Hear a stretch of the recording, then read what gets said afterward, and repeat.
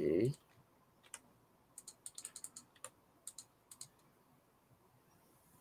Okay, that's it. Okay. Okay. Good afternoon. Yes, uh, good afternoon. I'm Professor Thiago Martins, and my colleague is Professor Guiou Kobayashi. We are going to chair the last session, finally, of our Congress, Power and Energy 12. Wow. And uh, we're going to start uh, showing the short videos for the paper. And then we are going to bring the authors here and we are going to have a, a panel. So while the videos are playing, please feel free to write any questions on the comments. You are able to read them. So you have any question, uh, we, we are going to forward them to the authors. Okay. Let's move to the videos then. Let's see. Okay. Welcome, people.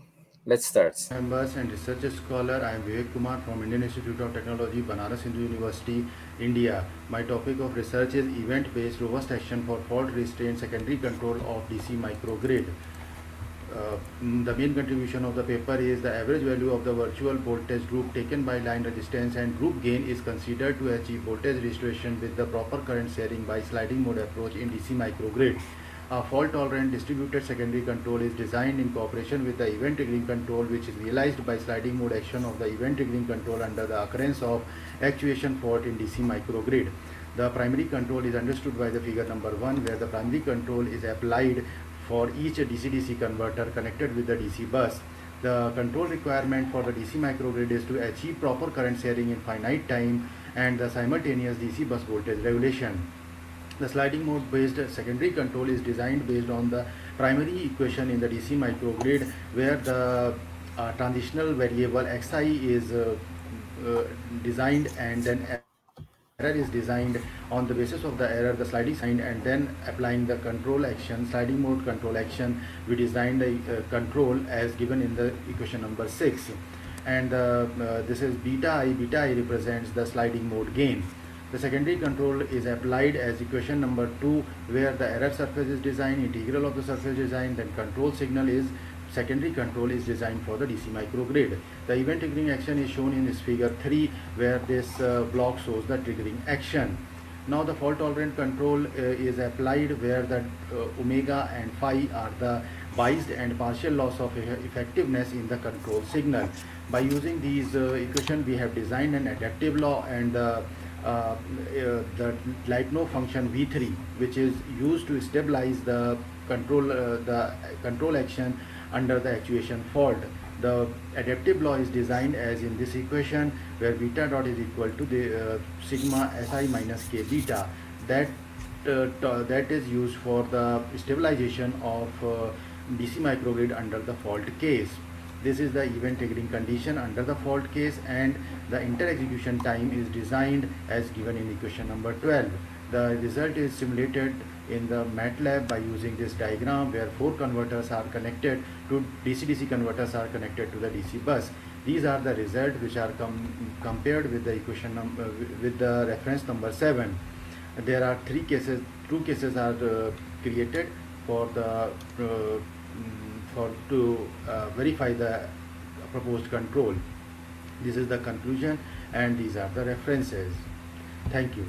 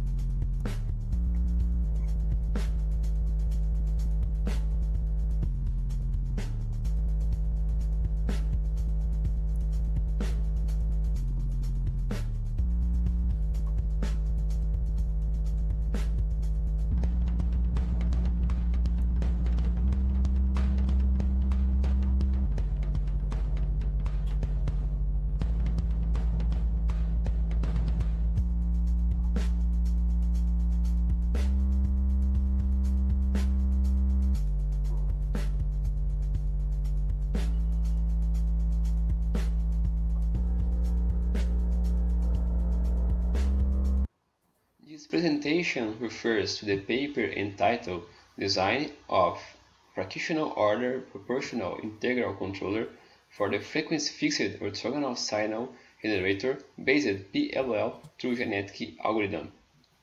I am Professor Moacyr de Brito from UFMS, who is the speaker of this presentation.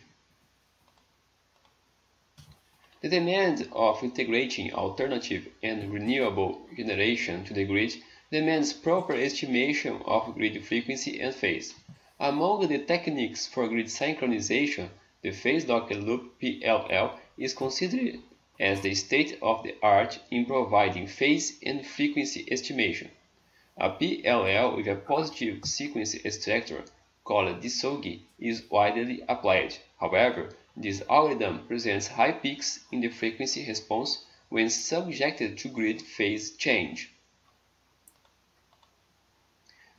This work proposes a novel fixed-frequency orthogonal signal generator PLL based on a fractional order PI controller whose coefficients are optimized by a genetic algorithm, in addition of the usage of all-pass filters. The strategy has a focus of reducing the peak and oscillatory response in face of grids with changing frequencies, unbalanced voltage, and harmonic content. The positive sequence structure produces V-alpha line that is obtained considering summing V-alpha and 8s V-beta, where 8s is the transfer function of the all-pass filter. We can verify the steady-state amplitude response error for a 2 Hz change in frequency. The error is very small, guaranteeing the robustness of the OSG close to the fundamental frequency with small variations around this value. We have fixed the crossing over frequency and phase margin, and after solving the formulae of Monje, it is possible to obtain equations that Kp and function of the fractional degree x. The coefficients were optimized using a genetic algorithm, and to obtain positive values for Ki and Kp, one may observe the necessity of setting x and Vm accordingly. The costing function j of the genetic algorithm uses the sensitivity transfer function and the noise attenuation. Finally, the genetic algorithm returned the optimal values of Kp, Ki, and x. Here one can see the results regarding system initialization frequency step and phase response. In all tested cases, here in blue, the PI-based PLL presents the worst response. Regarding the FOPI-based PLL, the proposed PLL presented less overshoot, less undershoot, and a faster settling time. In this comparison, the PI was redesigned considering the same bandwidth and phasing margin of the FOPI controller in all tested cases, harmonics, unbalanced voltage, the proposed PLL stands out with less oscillations and a faster response. The proposed solution presented less oscillatory and a faster response than the widely DSOGI PLL, and this algorithm may replace the DSOGI for grids with harmonics and unbalanced voltage. Finally, the FOPI controller outperformed the PI controller in all tested cases. Authors would like to acknowledge the Federal University of Mato Grosso do Sul, FAPEC, and the Research and Development Project, R&D from ANEEL. Here we have some reference. We would like to thank the audience in the graduated program of Electrical Engineering. Here is the website and the author's email for possible contact. Thank you very much.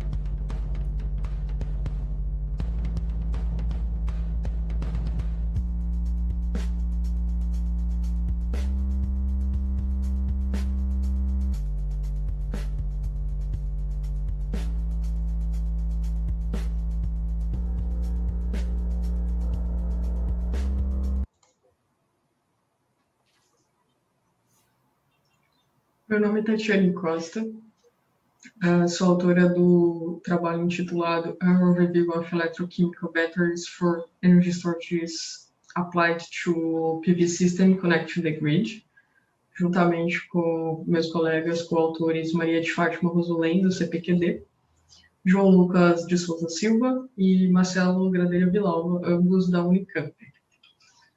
Esse trabalho ele teve o objetivo de promover uma visão geral e atualizada a partir do, do tema de sistema de armazenamento de energia, com ênfase para aplicação em sistema fotovoltaico. É, dentro desse contexto, foi visualizado que existem aplicações e serviços para esse, esses sistemas, no qual eles podem se encontrar à frente do medidor e atrás do medidor. Uh, muitos desses à frente do medidor se refere a sistemas conectados à distribuição e transmissão de energia uh, em larga escala, em utility scale, mas como também para aplicação residencial, comercial e até mesmo micro-redes, sendo elas conectadas ou não. Aqui a gente traz um, uma curva famosa, uma aplicação famosa, que é representada pela curva de pato, que está aqui apresentada, que se refere ao perfil de, de carga do, da Califórnia, onde, com exceção do sistema fotovoltaico, uma produção muito grande de energia durante o dia e durante a noite é, existe um pico também. E durante o dia existe uma baixa demanda e uma geração muito alta, diferentemente da era necessário ligar os geradores, as termoelétricas, para poder suprir essa carga. Para tentar diminuir e amenizar e amortecer essa curva de pato, foram inseridos sistemas de armazenamento de energia e também foi feito é, algumas, é, alguns incentivos para que as pessoas adotassem esses sistemas em suas casas.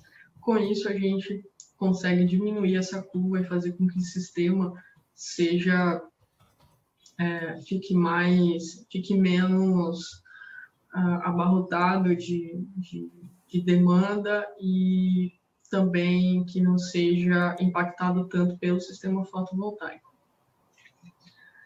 Dentro do, do, do trabalho foi feita uma grande revisão em relação às tecnologias de chumbo ácido, de lítio, uh, baterias de alta temperatura e baterias de fluxo, no qual foram apresentados alguns é, algumas características desses equipamentos, assim como suas curvas e a sua, e a sua densidade energética, fazendo a diferenciação entre uma tecnologia ou outra.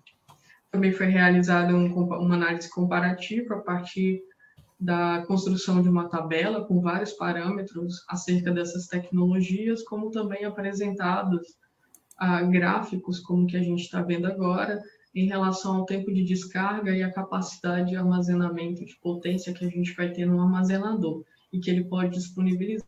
A partir desse contexto, a gente pode estar até mesmo a aplicação, a gente pode alocar cada bateria em conjunto com o sistema fotovoltaico. Por fim, nós concluímos o, o, o objetivo do trabalho, que era mostrar esse, essa mostrar essa visão geral acerca dessa tecnologia com aplicação do sistema fotovoltaico. Concluímos também que, por existirem várias tecnologias, cada uma vai ter sua particularidade, sendo, é, sendo a ou outra. Por isso, é necessário um estudo extremamente com uma curação muito grande em relação ao local que vai ser aplicado, a carga que vai ser atendida, os impactos ambientais e também os impactos operacionais que vai ter essa aplicação e esse serviço. Uh, meu muito obrigado ao Laboratório de Energia e Sistemas Fotovoltaicos da Unicamp, do qual faço parte. Agradeço o apoio do CPQD também dentro desse trabalho e ajuda para desenvolvê-lo. Também a FAPESP, a CAPES e ao CNPq.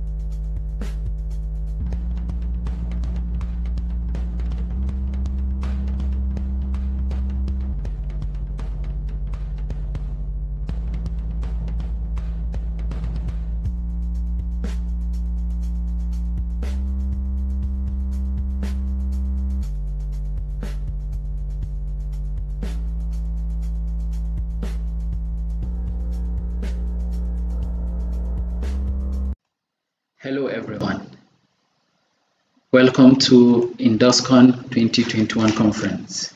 It is a privilege to be here and on behalf of me and my co-authors, I will be presenting the paper titled A Review of Solar Photovoltaic System Maintenance Strategies. In this short video, I will be giving you a glimpse of what is to come in the complete uh, version of the video. Uh, this is um, to present the contents. In our presentation, we will present the introduction, the types of uh, faults in photovoltaic systems, the operation and maintenance types, operation and maintenance strategies in photovoltaic systems, and then we'll finish up by with uh, conclusion and remarks, acknowledgement, and uh, references. So, the operation and maintenance types will be are the preventive maintenance, the corrective maintenance, and the predictive maintenance, which is also known as the condition-based maintenance. Uh, the maintenance strategies we'll be talking about uh, are grouped into five. We have the monitoring based strategies, the artificial intelligence based strategies, the statistical and signal, uh, signal processing based strategies, the comparison based strategies, and then the other strategies.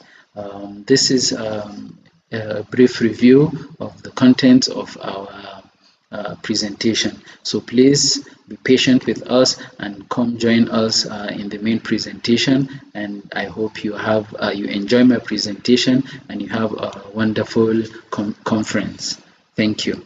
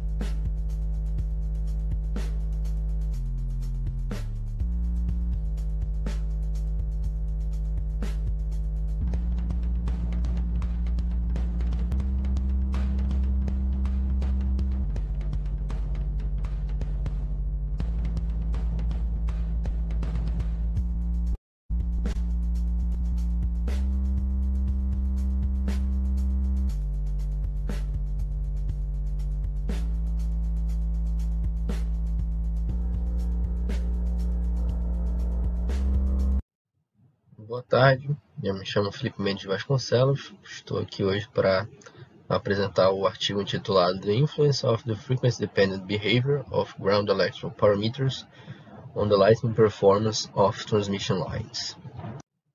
Bom, começando pela introdução, sabe-se que descargas atmosféricas são causas recorrentes de falhas em linha de transmissão, que o backflashover é o arco elétrico entre o cabo guarda e a fase ou entre a torre e a fase quando a sobretensão resultante da descarga atmosférica excede a suportabilidade da cadeia de isoladores, e estima-se que entre 40% a 70% dos desligamentos de linha de transmissão causados por descarga atmosférica são provocados por este fenômeno. Sendo assim, esse trabalho investiga como a inclusão do efeito da dependência da frequência dos parâmetros elétricos do solo influencia o desempenho da linha de transmissão frente às descargas atmosféricas. Bom, a metodologia utilizada foi a incidência direta de uma corrente representativa de primeira descarga de retorno no topo de uma torre de transmissão, considerando duas torres adjacentes para efeitos de, de reflexão. O método do efeito disruptivo foi aplicado para calcular o valor das correntes críticas capazes de induzir o desligamento por backflashover. E após isso, a probabilidade de ocorrência de cada corrente crítica foi calculada utilizando distribuições de probabilidade cumulativas de corrente de pico, é, calculadas de acordo com as medições da estação do Morro do Cachimbo, em Minas Gerais. E por fim, a partir dessas probabilidades, foi determinado o desempenho da linha, considerando parâmetros elétricos do solo constantes e dependentes da frequência, para uma ampla faixa de resistividade do solo. Bom, partindo para os resultados de discussões, é, para o cálculo do desempenho da linha de transmissão foi utilizada a metodologia proposta por Anderson, que requer algumas definições e informações, tais como a geometria das torres e a densidade de cargas atmosféricas, é, que foi utilizado NG igual a 5, né, por ser o mesmo da região da estação do Morro do Cachimbo, que foi utilizada para definir os parâmetros da descarga atmosférica. E foram também consideradas algumas hipóteses de distribuição de resultado do solo ao longo do percurso que a linha atravessa. Né? Então, os seis primeiros aqui consideraram solos homogêneos, variando de 300 a 10 mil ohms, e os três últimos solos não homogêneos, é, sendo assim mais realistas. Então, pode-se ver aqui ao Aqui nós temos né, o número de desligamentos considerando parâmetros constantes, aqui parâmetros variantes. E a gente pode ver que para todos os casos o número de desligamentos reduziu ao se considerar o efeito da dependência da frequência. E essa redução variou, variou entre 20% e aproximadamente 60%. Por fim, pode-se concluir que, considerando as distribuições não uniformes de solo, que são mais realistas, foram encontradas reduções das taxas de desligamento esperadas de cerca de 28% a 54,4%, e sendo assim faz-se clara a importância de se incluir o efeito dependente da frequência dos parâmetros do solo nas avaliações de desempenho de linhas de transmissão de descarga atmosféricas. Então gostaria de agradecer a todos os participantes e fico à disposição para eventuais perguntas sobre o trabalho apresentado.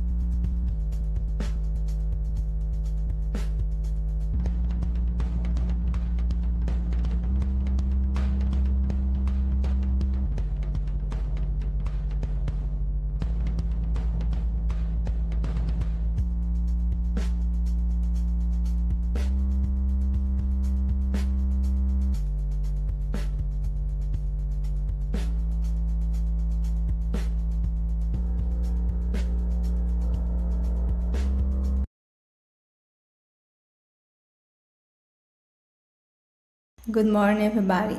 I will present the work entitled Proactive Protection Scheme, the Wind Energy Conversion System.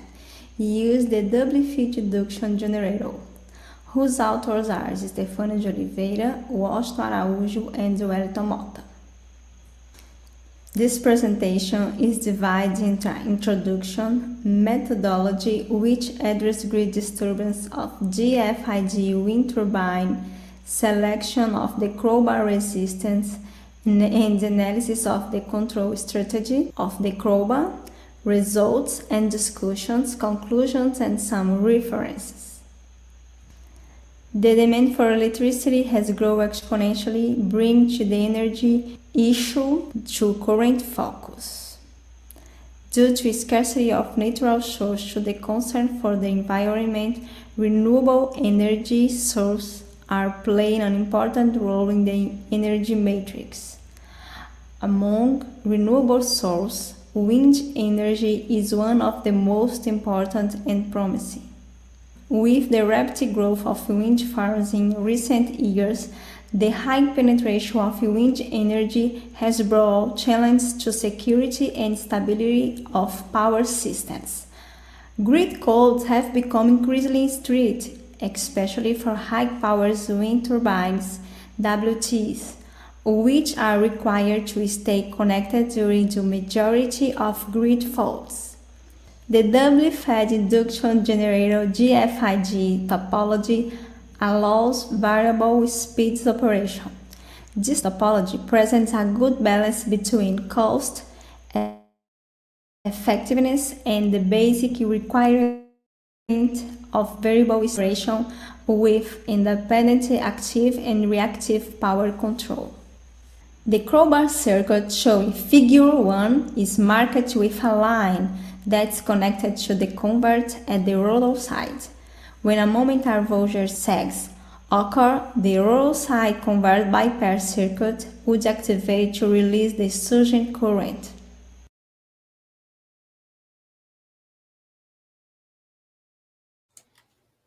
Okay. Uh, Guiou, I do believe you're still muted. Not Okay. anymore. Great. Uh, I think we should bring back all the authors, the present authors here. Yes. Uh, but uh, uh, I have a suggestion. Uh, maybe each author can talk, uh, can introduce yourself and his work, and can can he can talk about your work in more in more detail because some presentations were very short. Maybe someone wants to highlight some important things uh, that was not able to talking about one two minutes of this presentation. So uh, yes, uh, maybe it's opportunity. Right. And yeah. we had a problem actually. We had a, a, presentation that was, I'm afraid, in Brazilian Portuguese. that's no. yeah. Yeah. Okay, I that's think, that's okay. a good point. We can we, we can mix Portuguese and English. I, I think it's not be a, a problem. Okay. okay. So let's do this. Suggestion accepted. So we should start perhaps with Mr. Kumar. Yes. Dr. Kumar, I'm sorry. Hello. Ah. Yes, sir. Yes, sir.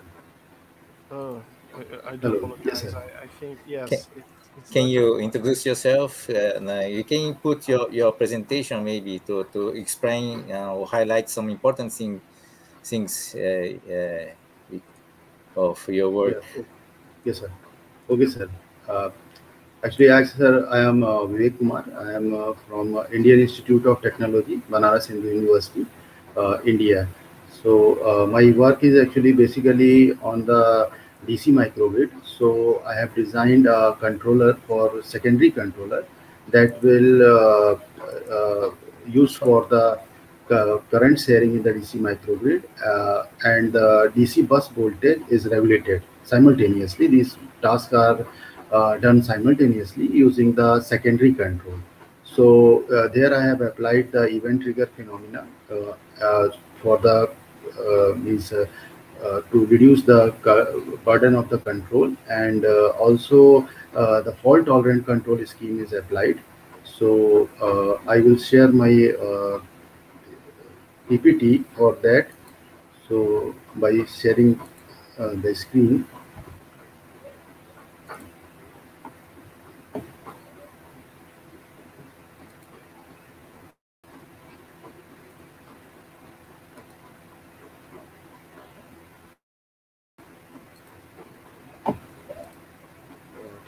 Is it visible to you, sir? Hello. The screen is visible to you, sir? Yes. It is, it is. Okay, it is. Yes, sir. Okay, sir. Okay, sir. And finally, So, so this is the my uh, topic for the presentation. That is uh, event-based robust action for fault restraint secondary control of the DC microgrid. So basically, the objective, the objective for this is to uh, the main issue in uh, operation of the DC microgrid.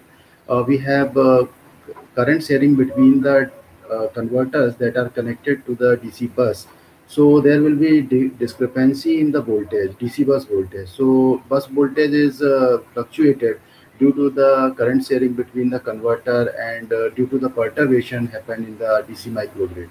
So we are applied the secondary control phenomena in uh, presence of uh, primary control as you, uh, as you can see from this figure.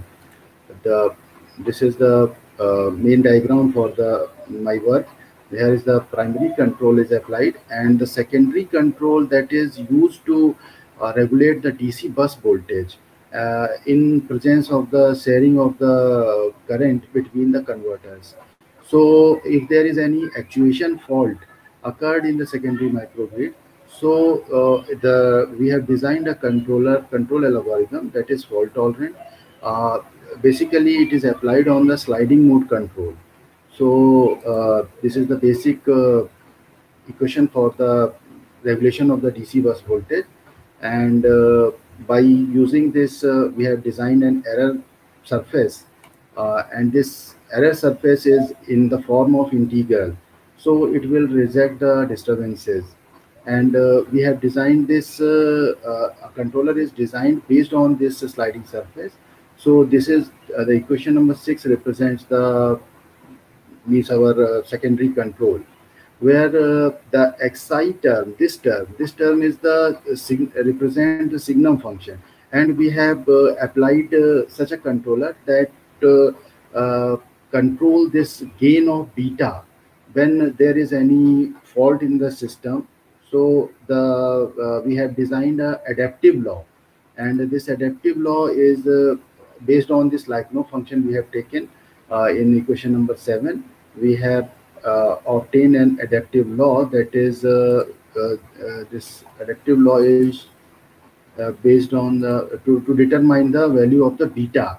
As per the fault occurred in the system that that may be the two types of fault I have added loss of effectiveness and this the, these two faults the one is the partial loss of uh, uh, fault and uh, one is the biased fault. So partial loss means if there is a loss in the control signal or some perturbations added to the control. So how does our control algorithm will work?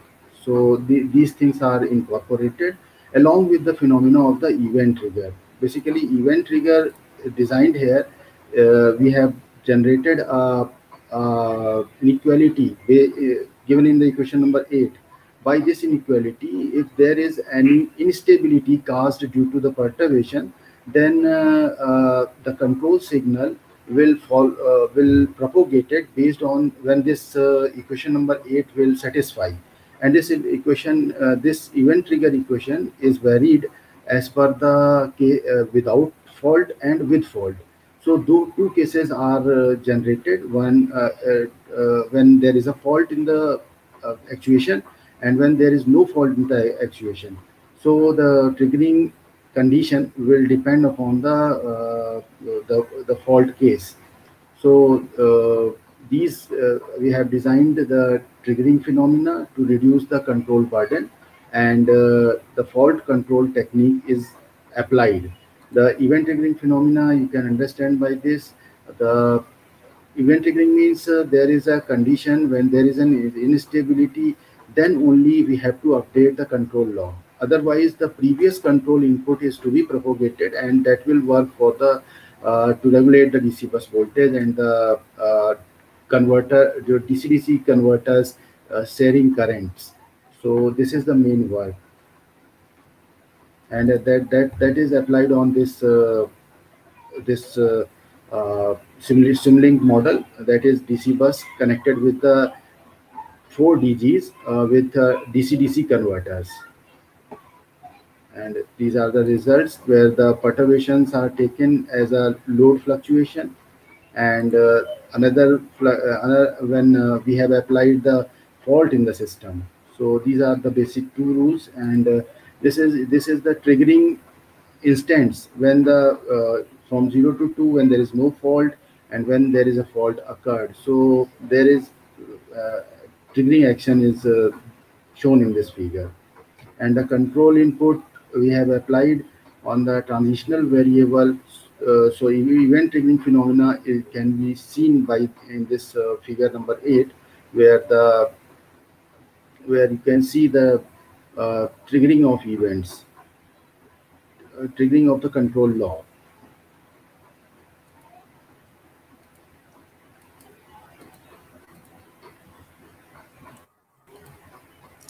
Okay, thank you.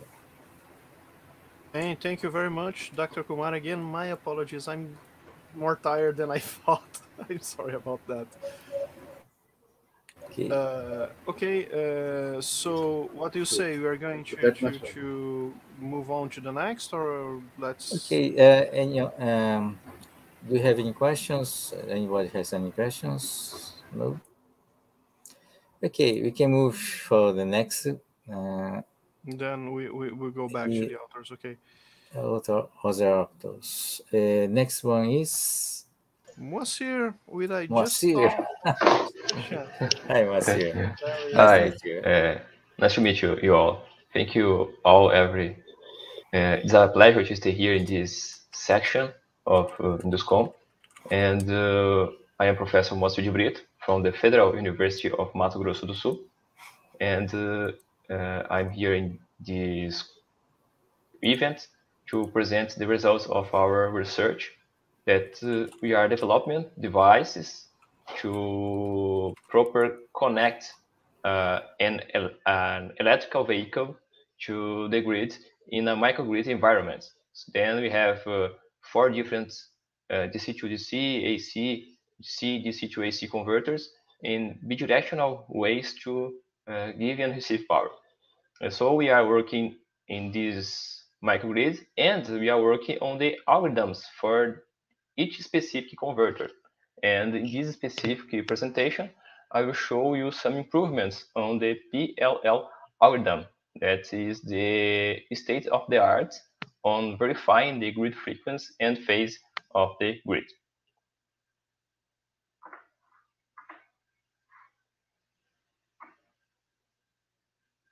Do you need that I show some pages of the paper of the presentation? Yes. What would yes. like? Okay, uh, let uh, me share my screen with all of you.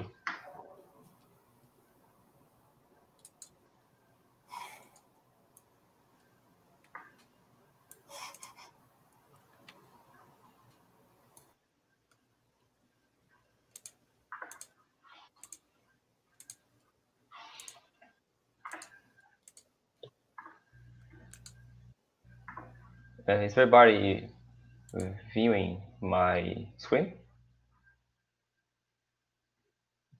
Yes, uh, uh, your screen is on air. Okay, thank you. Okay. Uh, this work refers to the design of a FOPI controller for the frequency fixed orthogonal signal generator based PLL through genetic algorithm. So the main importance and idea is that the renewable energies are increasing and we have to know the phase and frequency of the mains in order to properly connect all of these sources to the grid. So one of the standard PLL types commonly adopted is based on the SR, SRF, the synchronous reference frame. But this uh, PLL has some problems when we face uh, unbalanced grids. So we use it as the state-of-the-art, the DSOG PLL with positive sequence extractor. And then we have to we have a way to reduce the influence of unbalance and harmonic content. However, in this algorithm, we have here a problem when we have uh, fault conditions in the grid, and this algorithm presents high peaks of response when we have this kind of modifications in the grid. Uh, when, as you see here, we have uh, a double second order generalized integrators to create the alpha line and then key V alpha line. So we are producing two signals that are orthogonal to each other using this device or this dual second order generalized integrator. And then with these both signals, we can extract the positive sequence.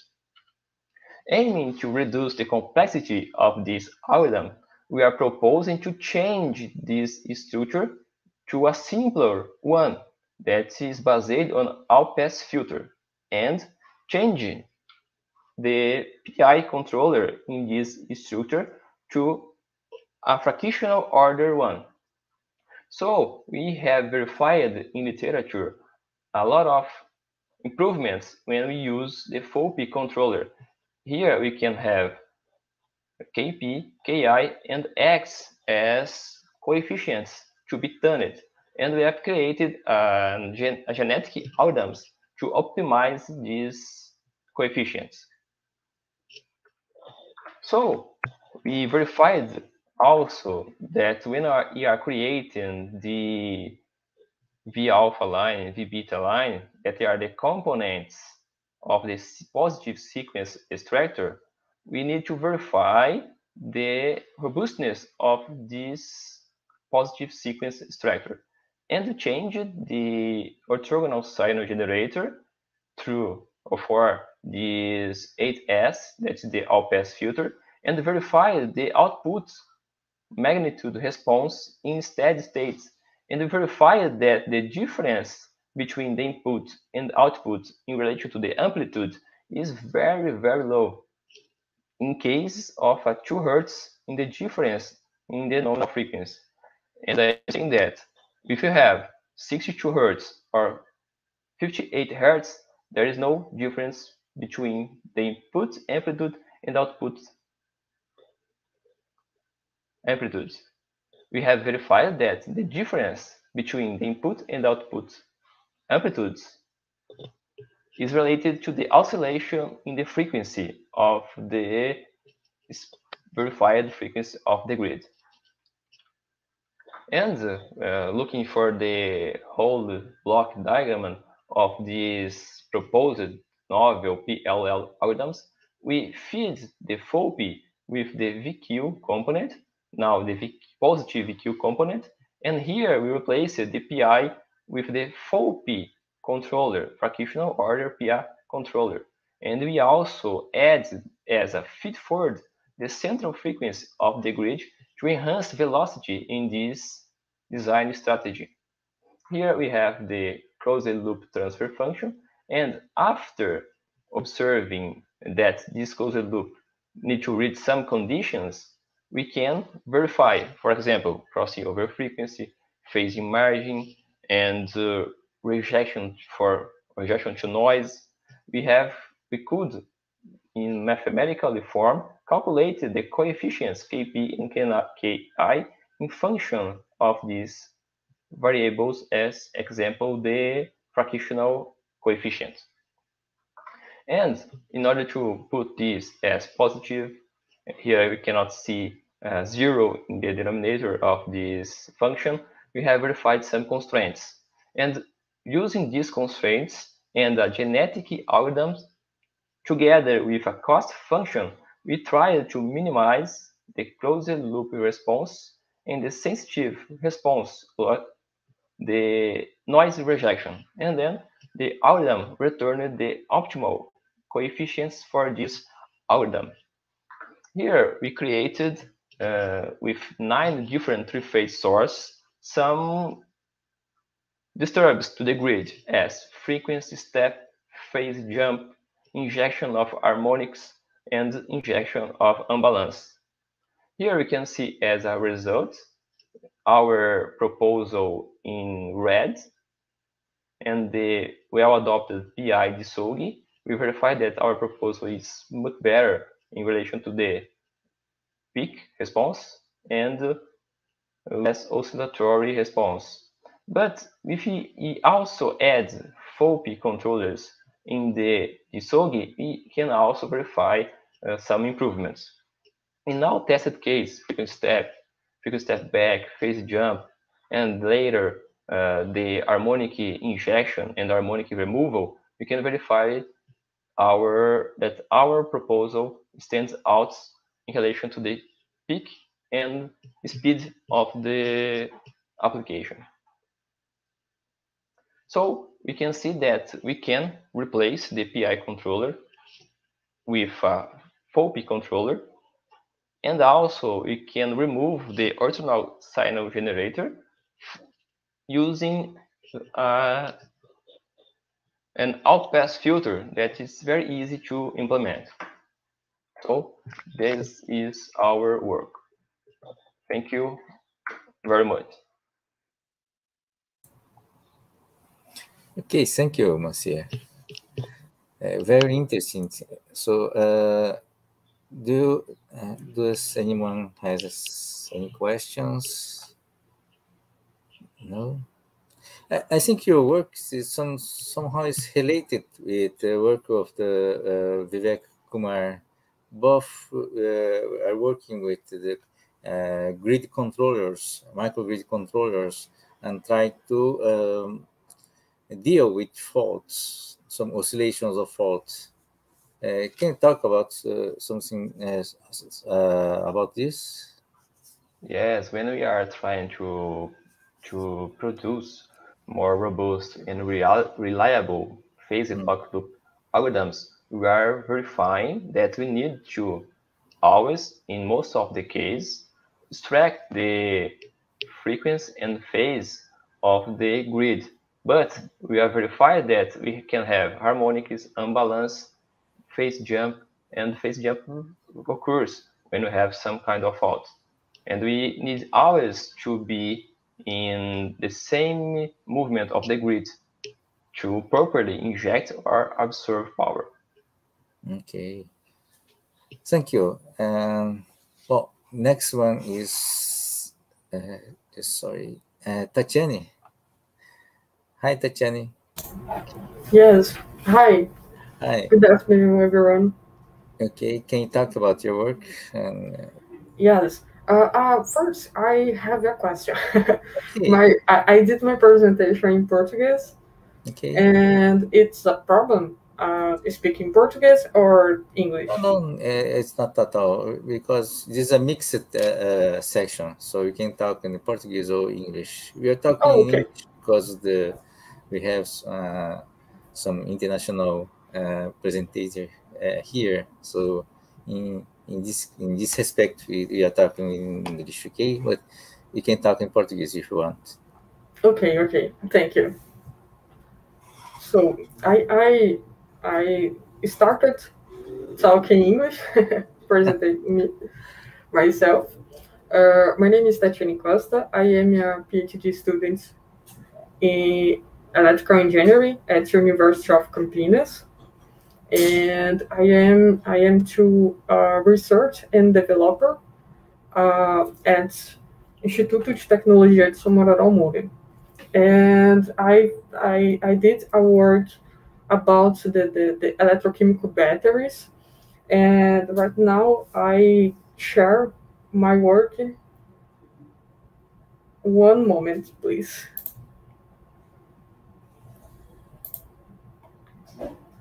Okay.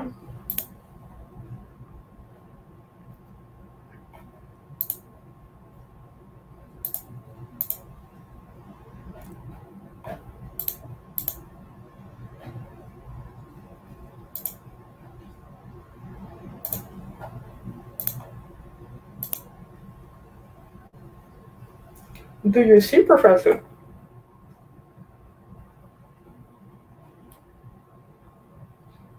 All right.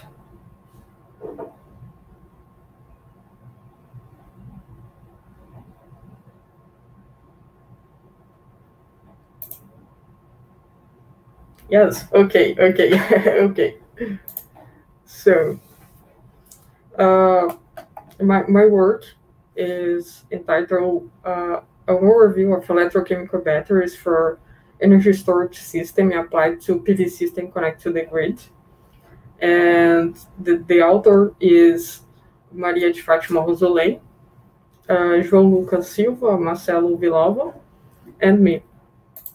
So, the, the, the uh, então, é, eu vou falar agora um pouquinho em português, que quando eu fiz a apresentação, né, acabei colocando ela em português e, e mostrando agora um pouquinho mais. É, o objetivo dela é promover um, um, um ampli, um, uma visão amplia, bem ampliada, na verdade, em relação às baterias eletroquímicas e também atualizadas, visto que a gente tem uma modificação desse tipo de tecnologia é, o tempo inteiro. Então, a gente tem a cada momento, e também com inputs de algumas é, tecnologias, como os veículos elétricos, a entrada massiva também desse tipo de tecnologia, que já está né, intrinsecamente conectadas e ligadas a esse tipo de tecnologia. E não seria muito diferente com a questão de, de energias renováveis, né, com sistemas fotovoltaicos. A partir do momento que a gente começa a agregar bastante energia no sistema elétrico, a gente passa a, a, dar benefícios a ele, mas também a gente, a gente acaba, em alguns momentos, fazendo com que a gente provoque desequilíbrios dentro dessa rede, que é o caso dos sistemas fotovoltaicos, com a massiva entrada de potência fotovoltaica em alguns alimentadores e em alguns barramentos. E uma das formas que a gente tem de aliviar uh, essa entrada massiva ou esse desequilíbrio que pode ser provocado pelo sistema fotovoltaico é a aplicação dos sistemas de energia por baterias. E quando nós vamos estudar aplicação de sistemas de, de baterias é, conectadas à rede, né, sistema fotovoltaico em relação à rede, ela pode ser vista de duas maneiras. Né? Ela pode ser vista antes do medidor de energia e depois do medidor de energia. No caso, quando eu coloco antes do medidor de energia, eu estou me referindo àquelas, né, que é behind of the mirror, eu estou me referindo à aplicação residencial solar, a de, de a aplicação de micro-redes e de pequenos sistemas de armazenamento. E quando eu estou me referindo também à questão, né, após o medidor, eu já estou me referindo à distribuição de energia, transmissão, é, sistemas de armazenamento de grande escala e a utilização também de, de geração de grande escala. Então, eu estou acoplando junto a esse tipo de sistema. Uh, então, mundialmente, a gente tem aplicação nessas, nessas duas escalas, antes e depois do medidor. Aqui no Brasil, a gente está dando os primeiros passos em relação a, a ambos, na verdade, tanto ao que se refere à questão residencial, comercial e aplicação de micro-redes, como também em larga escala, principalmente para distribuição e transmissão de energia, principalmente no que rege a questão de regulatória e normativos. Uh, uma dessas, né, como a gente tem essa larga aplicação no mundo, uma das mais conhecidas é a aplicação é, no, na, na Califórnia, onde eles têm uma chamada curva de pato, e essa curva, ela vem se acentuando, ela veio se acentuando a, a, a, por longos anos na questão da inserção do sistema fotovoltaico.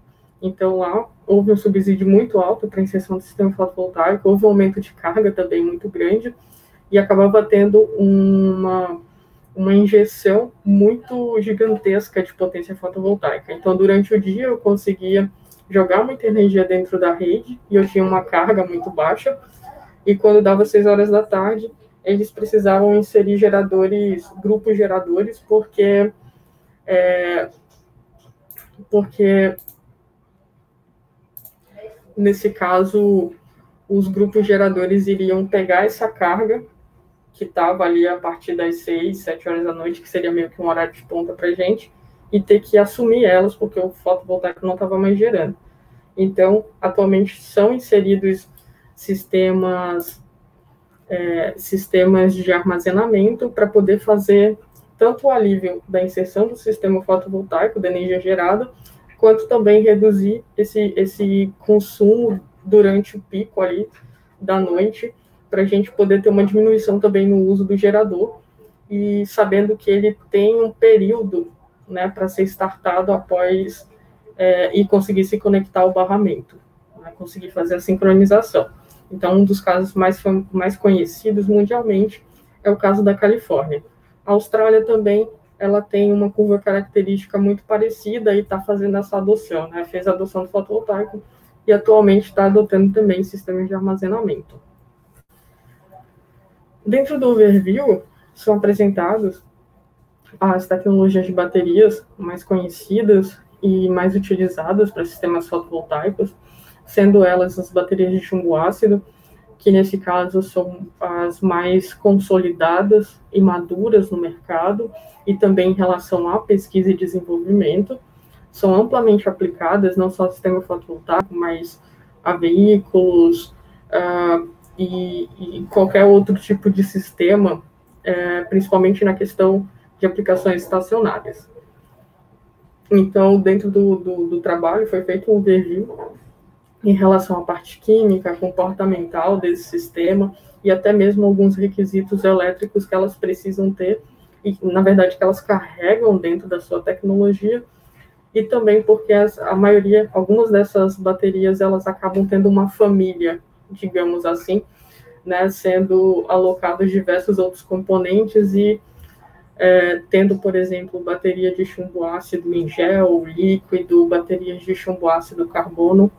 A mesma coisa acontece com o lítio, que ele também vai se apresentar com uma família bem grande, porque são inseridos outros, é, outras ligas químicas, onde eu tenho o lítio-íon, é, o lítio de ferro fosfato, eu tenho manganês, então eu tenho também uma, uma divisão bem grande dentro dessa família. Além disso, existem as baterias de alta temperatura, tá? que são, em alguns casos, é, alocadas em sistemas de maior porte, como, por exemplo, a parte de distribuição e transmissão, e podem ser acopladas com o sistema fotovoltaico, e as baterias de fluxo, que também seguem um pouquinho essa questão de escalabilidade que as baterias de alta temperatura apresentam. Uh, a partir do, da, do overview que foi feito sobre essas tecnologias de baterias, uh, foi, a gente montou, né, nós montamos ali uma tabela comparativa, uh, levantando todos os dados específicos de cada tecnologia, que normalmente são agregadas a ela, para a gente conseguir fazer uma análise comparativa, mostrando que cada uma tem sua aplicação né, dependendo do que se quer também dentro da rede. Se eu quero trabalhar no horário de ponta para fazer alguma aplicação, se eu quero backup, se eu quero mais horas de carregamento, se eu quero mais densidade energética. Então, a partir dessa tabela comparativa, eu consigo dizer é, em qual momento ou qual aplicação é, eu tenho uma bateria específica para ela. Né? Não que uma seja melhor que a outra, mas uma pode ser mais propícia a uma determinada aplicação, mesmo utilizando né, todas elas sendo utilizadas com sistemas fotovoltaicos. E como conclusão, uh, a pesquisa apresentou né, que existem diversas tecnologias recentes sendo, sendo aplicadas a sistemas fotovoltaicos e a maioria delas passando por transformação a cada momento para me melhorar a questão de densidade energética, a questão de segurança. E também a gente concluiu que dentro dessa, dessa comparação, é necessário um estudo do local, um estudo é, ambiental e operacional das condições para qual eu quero aplicar esse sistema de armazenamento. Eu quero esse sistema de armazenamento com fotovoltaico para aplicar na transmissão, para aplicar na distribuição, para aplicar no residencial. Então, dependendo da aplicação que eu tenha para esse, né, esse conjunto de sistema de armazenamento e fotovoltaico, eu posso ter um tipo de de bateria eletroquímica diferente para ser aplicada ali naquele ponto. Então, nesse caso, o nosso trabalho foi voltado mais para isso, para dar essa visão geral de um, de um tema que tá em, é, está extremamente em alta, né, por diversos, é, sendo movido por diversos outros temas, como micro-redes, como veículos elétricos e as energias renováveis no geral. Uh, aqui foram os nossos apoiadores, e as referências também que foram utilizadas no trabalho. É, muito obrigada.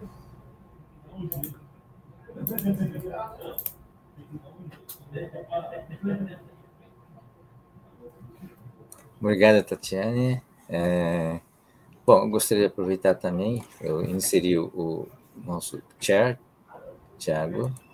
Okay. Tudo bem? É, uh, eu tenho, na verdade, uma, uma pergunta específica. Deixa eu ver, alguém tem mais alguma? Eu acho que eu estou passando na frente de. Eu, o seu trabalho, Tatiane, é, eu estava interessado em aspectos de segurança, porque você fala muito em, em, uso doméstico, né?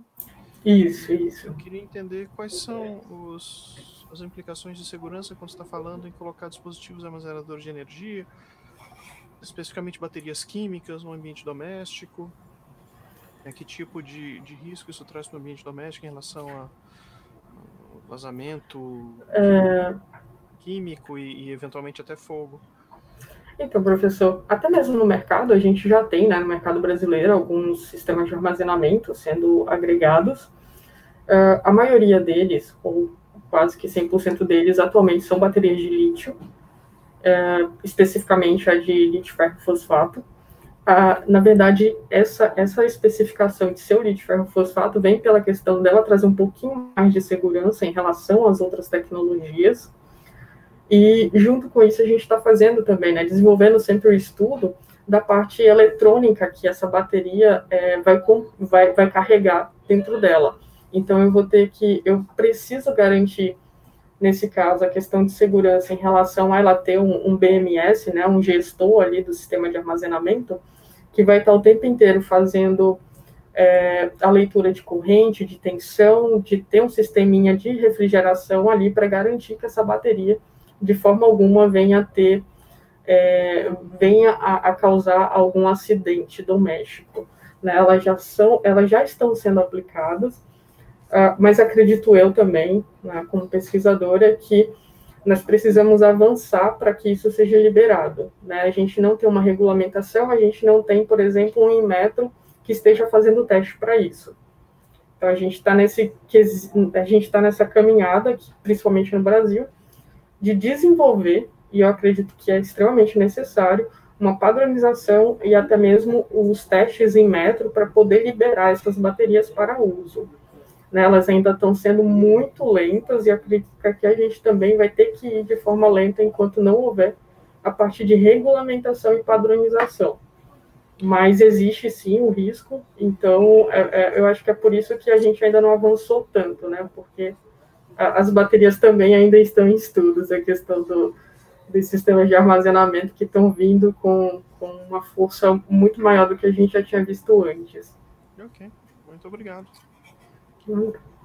Bom, é, aproveitando a, a, oportunidade, né, queria também ter uma ideia das perspectivas, né, através da sua pesquisa, você deve ter visto algumas perspectivas futuras do mercado de baterias, né, não só para o Brasil, mas para o mundo inteiro, de maneira geral, porque isso depende de depende de escala, de, de como você falou, da normalização, o uso, né, mas não consigo imaginar uma, um sistema é, baseado em fotovoltaico, por exemplo, sem o suporte de um auxiliar de, uma, uma, de armazenamento de energia, né? Porque sim, o, sim. É só, só, o sistema fotovoltaico só funciona durante o dia, né?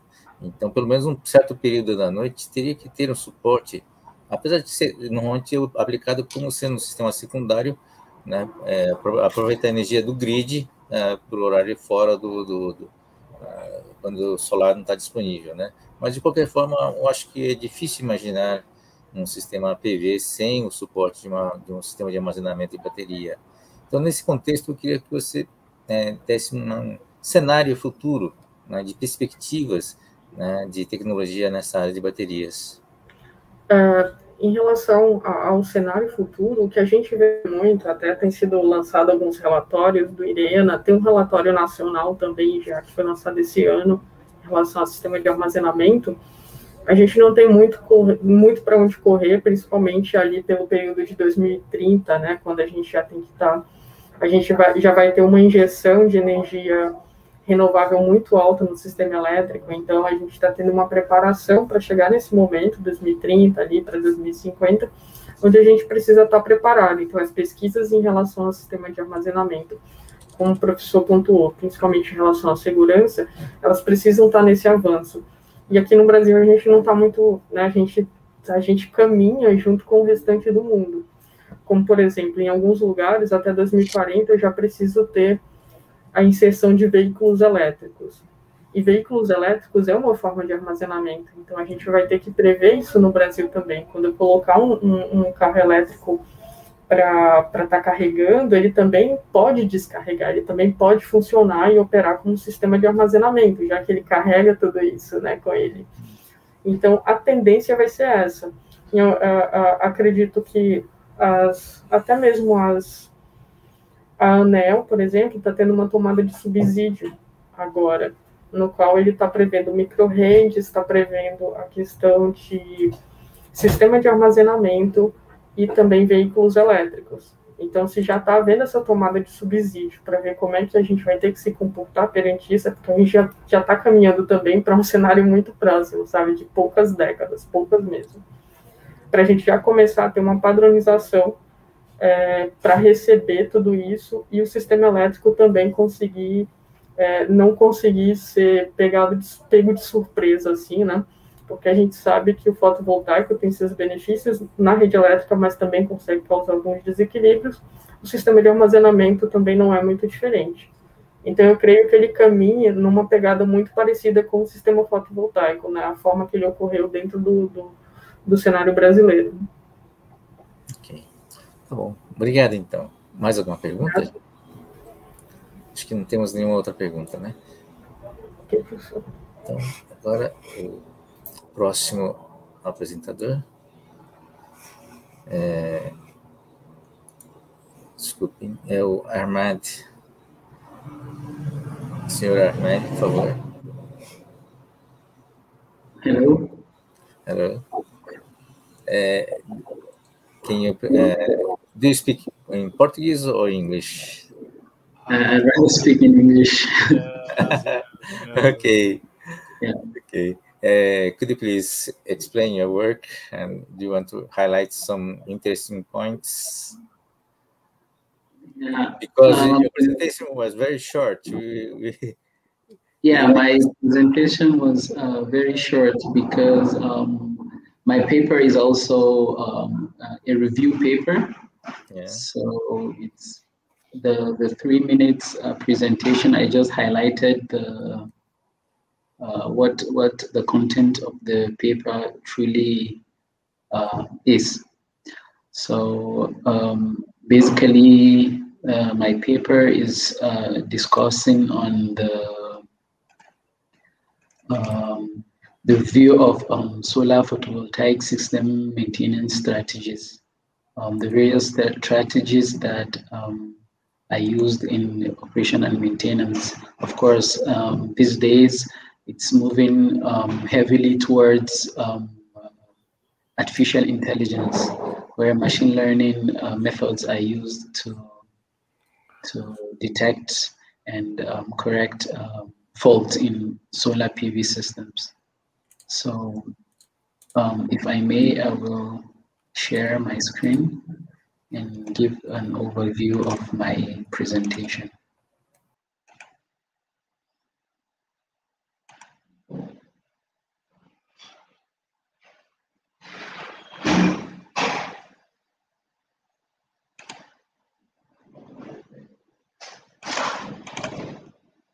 Can you see my presentation?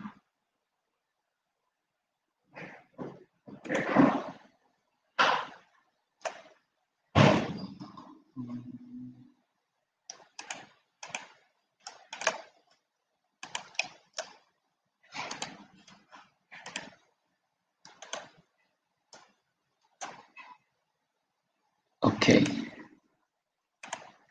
I believe you can all see my presentation. So, um, like I said earlier, my paper is just a review of solar photovoltaic system maintenance strategies. Um, as we all know, um, uh, power generation and energy generation is heavily moving towards uh, renewable energy and especially solar PV. From the chart here, you can see the, the, the growth of the technology in the last um, 10 years until 2015. It's, it has exponentially increased.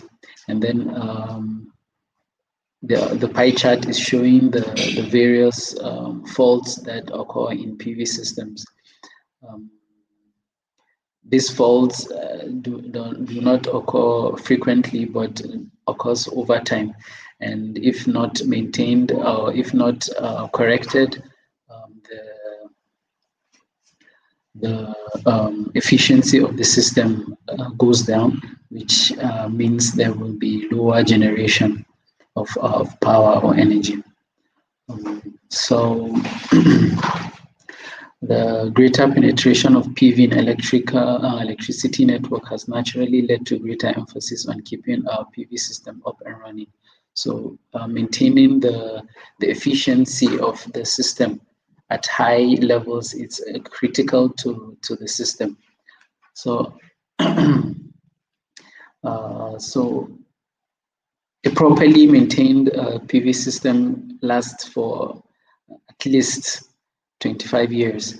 And if not uh, properly maintained, you see uh, the detriments uh, it's big enough that you can, there's the possibility of having um, less uh, productive years of the system.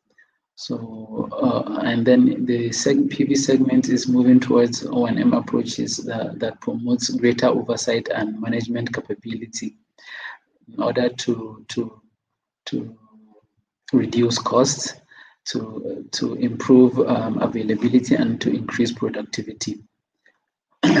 so the types of faults in PV systems uh, can be classified according to, as you can see from the the diagram here. So there are physical and environmental faults, and there are also um, electrical faults.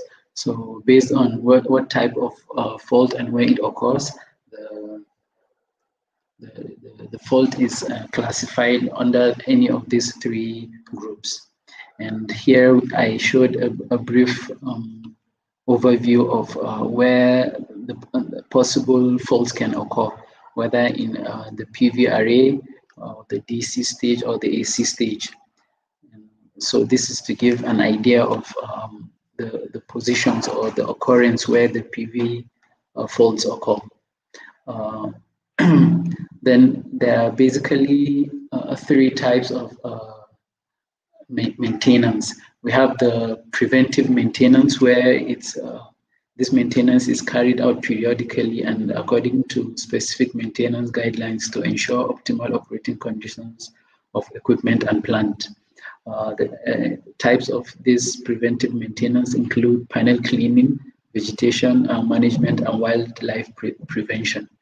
Another type is the corrective maintenance, which is carried out uh, after system failure has occurred. That is when uh, failure has been um, observed and may be done immediately or deferred. The types of this maintenance include on-site monitoring, warranty enforcement, and critical reactive repairs. Then there is another type, which is the predict, uh, pre predictive maintenance. This predictive maintenance uh, um, these days has heavily moved towards AI, where um, artificial intelligence is used to um, to predict future faults in order to um, plan ahead and and actually not lose um, many uh, longer downtime. So this is was presented. So so the strategies that I used in PV uh, uh, maintenance. So here we have uh, the monitoring based strategies, the artificial intelligence. We actually group them into all the, pro, uh, the methods into five. We have the monitoring based strategies, the artificial intelligence based strategies, the statistical uh, and signal processing strategies, and then uh, uh, the comparison-based strategies, and then the, the other strategies. Um, there are many literatures under these uh, um, five groups that uh, that effectively maintain and uh, observe PV systems in order to prevent faults, and then when the faults that are not preventable occur, they can be corrected as fast as possible in order to avoid uh, downtime. Um, so that is basically what uh, we reviewed in this paper. So uh, uh to conclude, I said, like I earlier said, the study pre uh, presented the review of various fault detection and uh, diagnosis strategies in PV system. And then in the study, we grouped the, the, the strategies into monitoring based, AI based, comparison based, statistical and signal processing based, and others. Um, so the main important thing about uh, the, the strategies is that for it to be effective, it has to have the ability to detect a fault and pinpoint its location in the shortest uh, possible time. Uh, the, then it has to be uh, affordable and then it has to be user friendly. Uh, this work we, uh, uh, we would like to um, specifically thank CAPES for, for their financial support in helping us with the research. And then here we have some references that were extracted from, um, from the research. So thank you very much for listening and bye-bye. Thank you. Uh, any questions? Okay, uh, we have a short on time. We go to the next uh, presenter. It's uh, Mr. Felipe Vasconcelos from Federal University of Bahia. Isso. Boa tarde, tudo bem? Boa tarde. Prefere falar em português? Vamos... É, já que eu, eu, fiz a apresentação em português, não, não, não, deu tempo aqui. Eu até tentei ajustar aqui, mas como não deu tempo, eu vou preferir fazer em português mesmo. Uhum. É, vou aproveitar também para. Tiago. Oi, Tiago, tudo bem? Boa tarde, Olá. boa tarde a todos. Deixa eu compartilhar aqui a tela para eu falar aqui rapidinho algumas coisas. Até que a minha apresentação deu para falar um pouquinho, mas uhum. não custa nada. Sim, só, só os pontos mais importantes para destacar, uhum.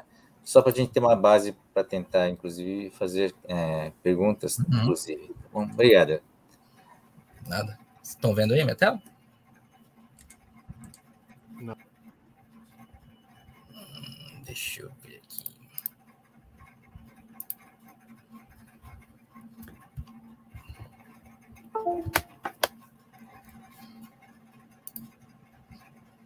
Já apareceu aí a tela?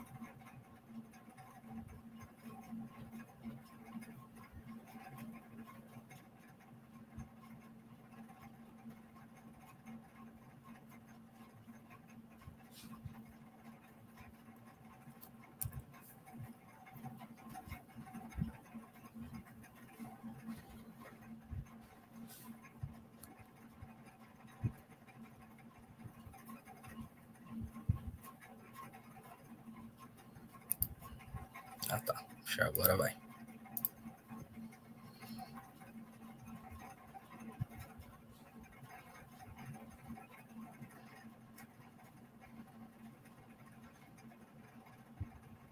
Pronto?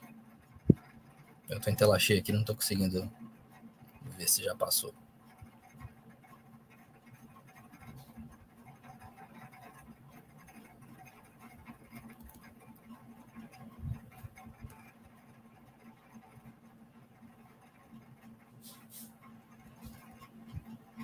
Certo. Então, deixa eu fazer uma apresentação aqui superficial, né? Então, é, meu nome é Felipe Medina Vasconcelos, né? Eu sou vinculado e fiz o mestrado e doutorado na UFBA, né? Atualmente eu estou fazendo pós-doutorado aí no Cefet Minas Gerais sobre, sobre a supervisão do professor Rafael, né? Então, é, eu apresentei o trabalho intitulado The Influence of the Frequency Dependent Behavior of Ground Electrical Parameters on the Lightning Performance of Transmission Lines, né?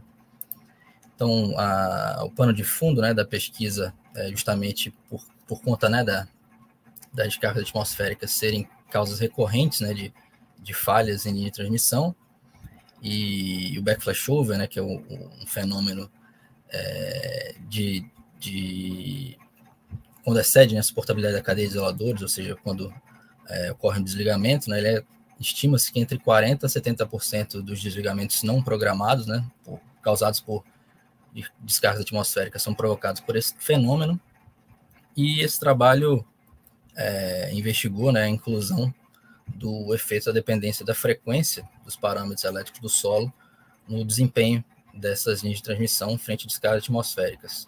Isso porque, historicamente, né, os, o, esse tipo de análise é feita em softwares, né, em programas de é, simulação de de transitórios, a maioria desses programas é na, no domínio do tempo, né? Então, e o aterramento de linha de transmissão ele é altamente dependente da frequência, né? Então, muitas vezes esse comportamento dependente da frequência ele é desconsiderado por conta aí dessa tarefa que é um pouco intrincada, né? De fazer essa interface de modelagens, né? Então, a metodologia foi justamente a incidência direta, né, de uma corrente de descarga, né, representativa aí de primeira descarga de retorno no topo da torre, né, que é o responsável pelo backflashover. É, o método DF aplicado né, para calcular o valor das correntes, né, que seriam capazes né, de induzir o desligamento.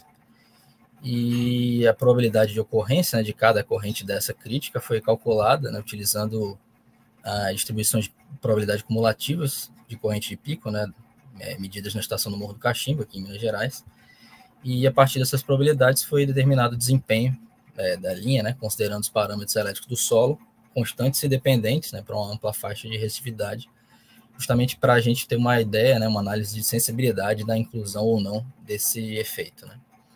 Então, aqui a gente tem é, os resultados e discussões né, da, do trabalho.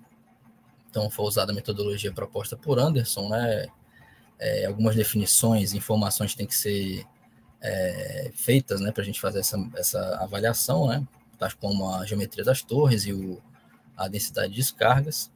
E a gente também fez aqui a consideração né, de algumas hipóteses de distribuição de resistividade do solo é, ao longo do trajeto da linha, né? Porque a gente sabe que as linhas de transmissão elas é, costumam ter uma, uma extensão grande, né? Então, obviamente, você não vai ter um solo de mesma resistividade durante todo o trajeto dela, né? Então, as seis primeiras distribuições aqui foram homogêneas, né? Então, seriam considerando né, é, solos somente dessa resistividade, por conta de outros, é, outras avaliações que a gente, a gente fez no trabalho, né? Mas que para essa apresentação mais simples aqui, acho que não vale a pena entrar no, nesse ponto. E essas três últimas que foram justamente é, distribuições mais realistas, né? Então, justamente elas não é, consideram o solo único né, no trajeto. Então, aqui a gente pode ver o número de desligamentos, né? Aqui para é, parâmetros constantes e aqui parâmetros dependentes da frequência. E aqui é justamente a diferença né, entre esses números de desligamentos com essas considerações. Né? Então, a gente pode ver aqui que há uma redução, né, é, variando aí de 20% a aproximadamente 59%, né, com, nessa faixa aqui de resistividades, é, no caso das homogêneas, né, e aqui para distribuições mais re, realistas, né, a gente vê que tem uma redução do número de desligamentos aí da ordem de 28% até 54%, né, mais ou menos. Então, é, considerando nessas distribuições não uniformes de solo, né, foram encontradas aí reduções das taxas de desligamento né, esperadas de cerca de 28% a 54,4%, como eu acabei de falar, e assim faz-se clara né, a importância de se incluir o efeito dependente da frequência, os parâmetros do solo, nessas avaliações de desempenho é, de linhas de transmissão frente a descargas atmosféricas, pois caso isso não seja feito, né, você pode estar incorrendo aí em é, expectativas sobredimensionadas né, de, de desligamentos, o que pode causar que você tenha uma, uma proteção excessiva, né? Então você vai gastar aí um, um, um dinheiro com proteção ou com cabo contrapeso, né? Com, com comprimento de cabo contrapeso de forma desnecessária, né? Então já é consolidado nessa essa comportamento dependente da frequência do solo. Então cabe né, a, aos pesquisadores e ao, ao, pessoal que trabalha né, com projeto de linhas é, fazer essas avaliações, é, incluindo esse efeito da frequência para ter expectativas mais reais. Acho que basicamente era isso. Obrigado, Felipe. É, alguém tem alguma questão para fazer? É um assunto importante, na verdade, né? Realmente de 40% a 70% do, do desligamentos não programados são decorrentes do, do, dos, da queda de raios, né? Então, é um, um, trabalho muito relevante, na verdade, né? Para garantir a qualidade e estabilidade, né? E confiabilidade da, da linha de transmissão. Então, tá bom. Parabéns pelo seu trabalho, Felipe. Ah, bom, estamos em cima da hora, mas a última apresentação a fazer é da Estefânia. É, por favor, seis minutos, mas dá. Não, dá tranquilo. Não, a gente pode estender um pouco, né? sem problemas. Stefania, por favor. Português, please. Ok. My English bad. ok, então vamos falar em português. Uh, como nós temos pouco tempo, é, você sucinta na minha apresentação, né? Já que eu já fui mais sucinta ainda no resumo, então, é... vou apresentar para vocês bem rapidinho, compartilhar um pouco agora só mais a questão dos resultados, certo?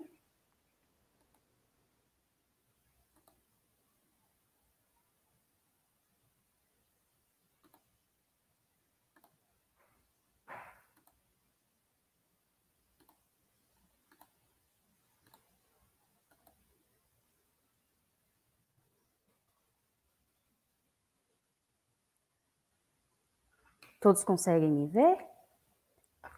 Pronto.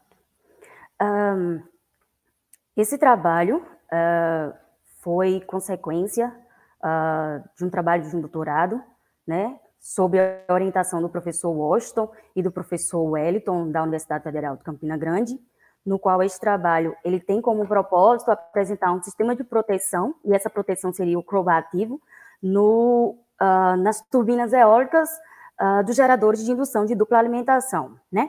E uh, como a gente já sabe, a necessidade e a inserção hoje que a gente está tendo de é, turbinas eólicas tem crescido exponencialmente de tal forma que uh, tem se gerado novos códigos de rede. E dentro dessa situação, dentro deste é, parâmetro Nós temos hoje as máquinas DeFig e que elas, por serem vantajosas em relação à sua velocidade variável, elas também apresentam uma desvantagem por estarem, por serem sensíveis à questão de distúrbios na rede, exatamente em questões do seu estator e o seu rotor estarem conectados diretamente à rede. Então, dentro dessa situação, a gente fez um estudo, fez um levantamento para verificar como é que esse sistema estava sendo afetado, como a gente poderia entender, como a gente poderia resolver esse tipo de situação sem que a gente, a gente é, desconectasse a máquina em si uh, da rede.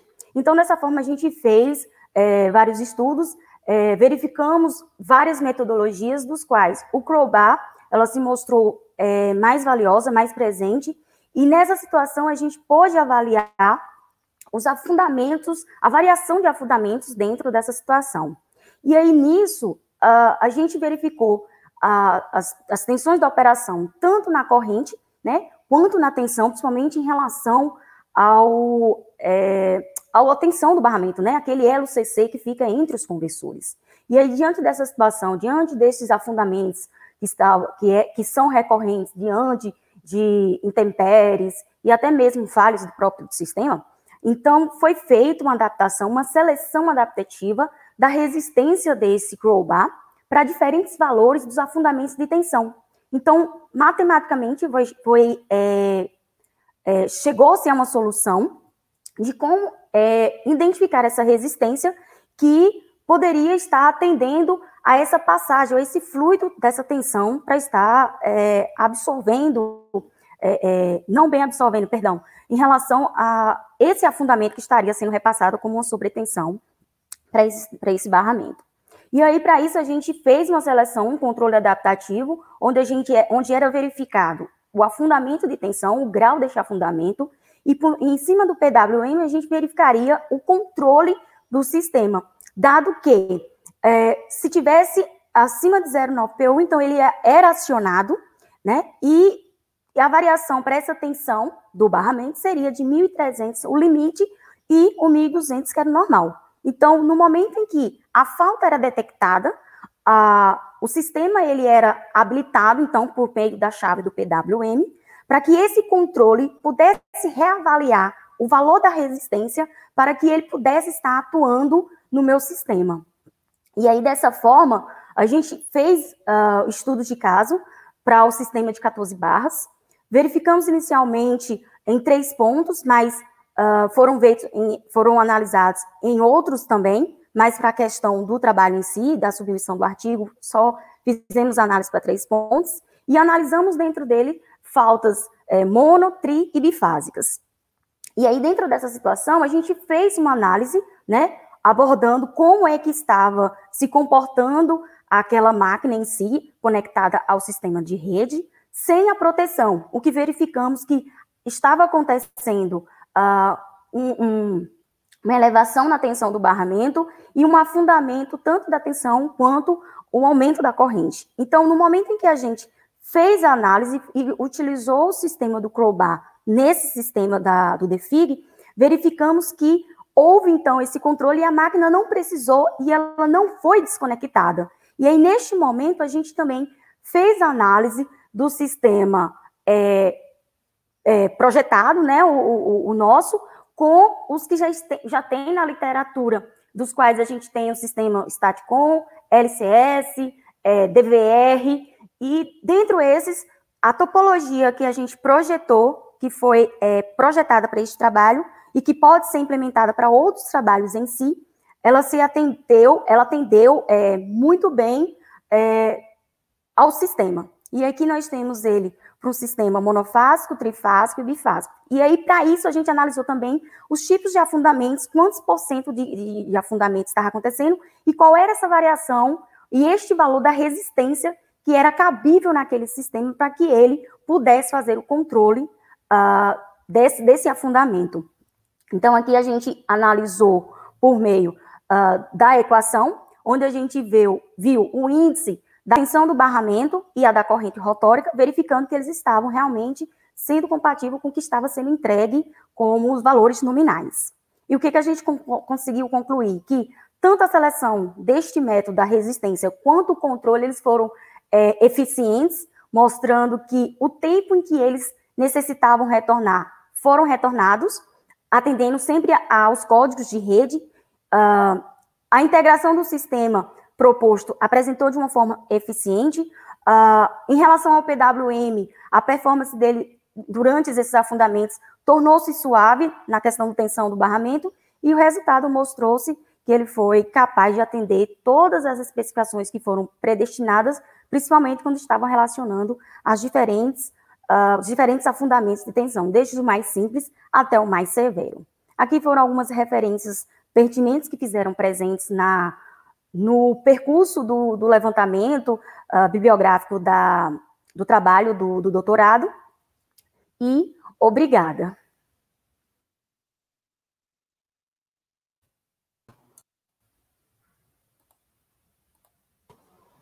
Obrigado, Estefânia. Vamos, vamos fazer o fechamento agora. Então, com a palavra, o Tiago Martins, para fazer o fechamento da sessão. É, eu, eu, eu agradeço. In fact, now now we have both English and Portuguese speaking, so I'm going to switch to English. So I thank very much all the authors for their meaningful contributions to this session. Right, uh, it was something very interesting. And yes, I think we're the last session, right? We, we're done with the the congress. So I hope everyone enjoyed our conference. And thank you very much again. Uh, I would like to invite all of you to uh, to watch for the uh, closing of the our congress. We're starting. Uh, I, I think it's already started, so I will put in the link here. Oh yes. On the comments. Okay. Okay. I, hope this is the correct link, but uh, please, uh, uh I'd like to thank you, everyone. Uh, thank everyone for this opportunity to to to see your work, and to know each other. Uh, I think you are uh, doing a great job, even the pandemic. okay, even with the pandemic, we have to adapt, and uh, I think you have a, a you made a great great work uh, instead uh, of this situation. And i hope you can uh, you can continue to working uh, for the, our uh, well i think that we have many problems uh, with energy and with environmental problems. And we are some i feel that we are something something like we are late in doing a lot of things in, in, in energy area. So this uh, microgrid, uh, uh, photovoltaic and wind turbines are important things uh, uh, that our future are depending on this. So we see some pressure. I think a lot of things are we're doing too late, maybe. But we see uh, that we are doing great work with your research Okay, we are counting on the, on your work uh, for the future of the planet and the future for our uh, energy sustainability and other important things. Okay, I'd like to thank you everyone for your participation, for your work, for your research, and uh, maybe we can see you again on the next uh, next Congress in more the next two years, okay, in Induscon 2023, okay. Thank you, everyone. Yes, and let's hope we can meet in present then, right? okay, we hope that. Thank you. So uh, again, you are like you, I would like to invite you to see the closing session. Okay. Bye bye. Thank you.